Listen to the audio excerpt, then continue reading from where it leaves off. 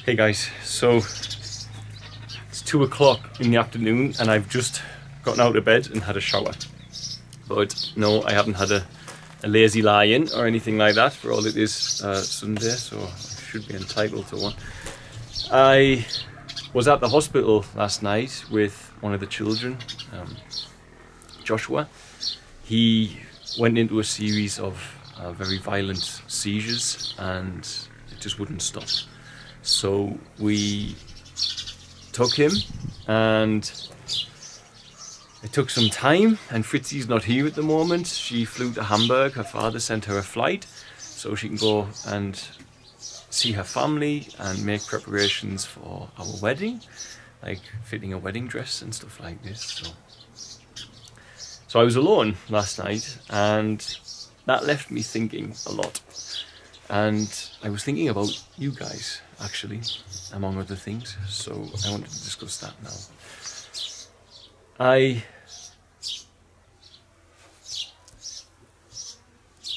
get the feeling that I'm very lucky in as I get to see firsthand how I'm helping. That is a massive blessing in my life, in anybody's life. If you firsthand every day see the difference, however small, however big, you're making in a person's life, that is a huge benefit and very motivational to allow you to keep going and to remind you why you're doing what you're doing.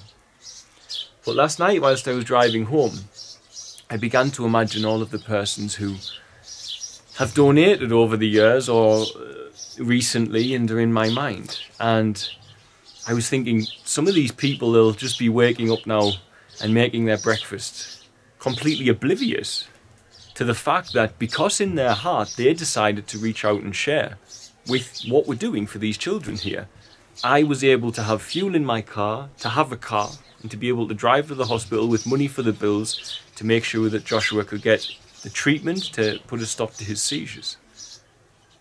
You see, I'm under no illusion that if Joshua was out in his home, where his his his mum is with him here, they were living in a very bad condition in wooden stick house out in the middle of nowhere in the bush.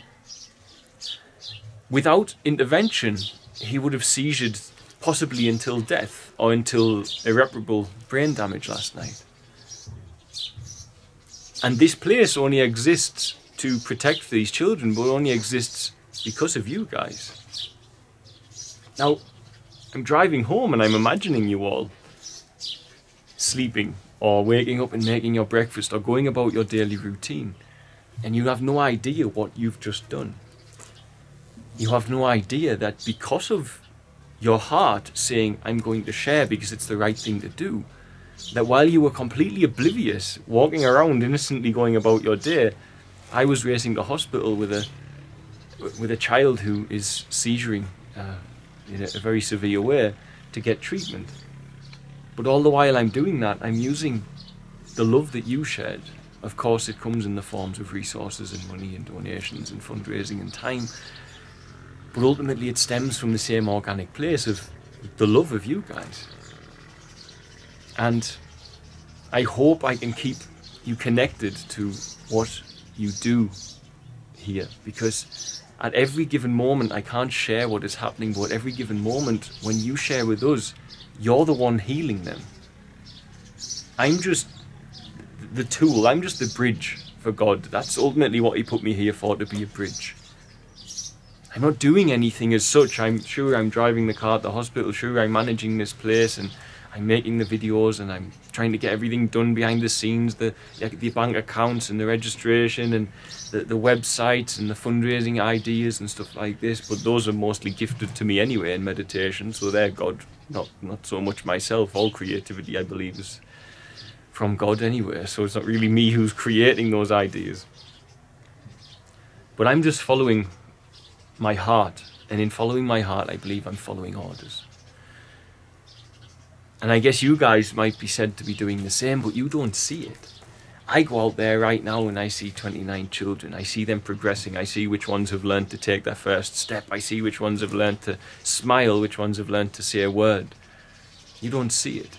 You don't see it. And, and, and I see that child now who is very likely still alive because I had resources to drive him to the hospital. And you don't see it.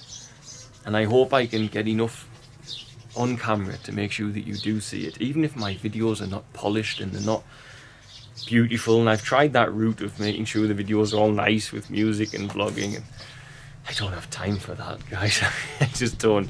But even if my videos are not polished and they're not looking good, I hope I can just put stuff out there. Even if it's just me speaking, because I'm also trying to protect the privacy of the children. Some of the children are not camera shy, but some of them can't tell me if they don't want to be on film. And I, I have to try and think of that for all I'm also trying to be their voice. So if I can get away with just using my own voice and uh, speaking about the children in the odd video of them, then that's what I'll do to protect their privacy. They shouldn't be a daily uh, means for people to log in and see what they're doing, you know, when they can't give permission for me to do that, I mean. So I'll, I'll do my best to make sure that they're not on film as much as possible, unless they ask to be. But the special needs kids can't, so. Ah, but ultimately, it was just to say that, that while you're obliviously going about your day, be it sleeping, waking up, making your breakfast, getting your children ready for school, doing your office work, or whatever you might be doing out there, going for your exercise in the gym, I'm here seeing what you've done. And I just want to relay that. That those of you who share with us, last night I wouldn't be driving to the hospital. I wouldn't be able to. Joshua would probably, I think he would probably I hate to say it, probably be dead if he weren't here.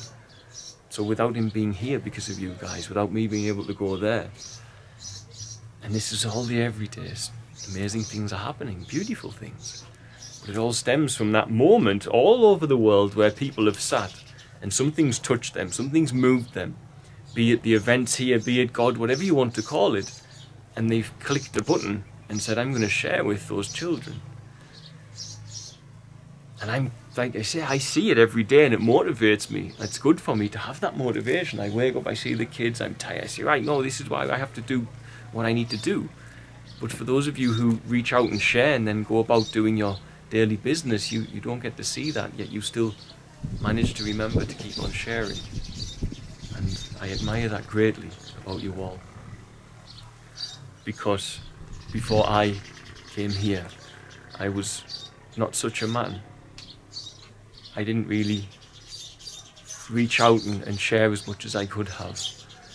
In the whole of my younger life, I, I did give to charities intermittently if I saw something happening, um, but only small amounts. And the only thing I ever committed to was I sponsored a child in, in Haiti.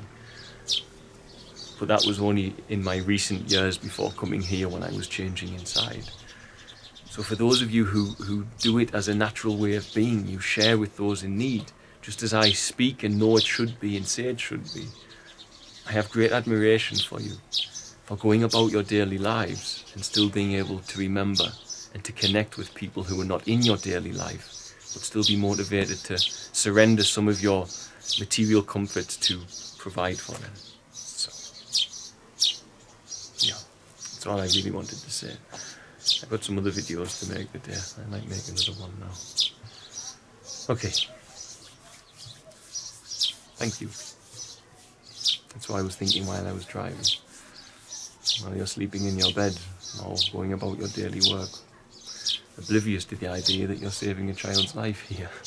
It's pretty amazing, me. God bless. Bye. I heard of a man and a seed that's been sown. Whispers and rumors